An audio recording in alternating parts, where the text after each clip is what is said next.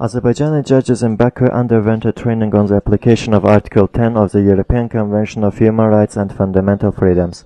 The seminar was organized by the Legal Defense and Education Society as part of a project funded by the Council of Europe and the European Union.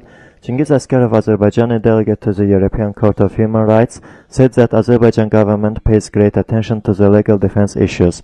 Up to now, the European Court of Human Rights has passed two decisions on the case of Azerbaijani journalists Yashar Agazada and Fatullayev, applying Article 10 of the European Convention of Human Rights. He noted that during last two-three years, no one has been judged based on the cases stated in the Article 10. Jerome Pons, the European Union's chargé d'affaires in Azerbaijan, said that the EU shares the democratic values of the Council of Europe and wants Azerbaijan make the media more transparent and courts more independent. Pons emphasized two points with regard to freedom of expression the need to decriminalize defamation and the need to strengthen the freedom of information by protecting sources. The head of the Baku office of the Council of Europe, Ambassador Konstantin Yerocostopoulos, noted the importance of Article 10 in Azerbaijan.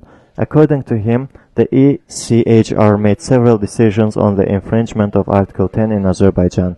In addition, the Strasbourg court has received more than 40 complaints of Azerbaijani journalists and 15 other questions are still being considered by national courts. However, he expressed that the Council of Europe was ready to assist in the ongoing judicial reforms.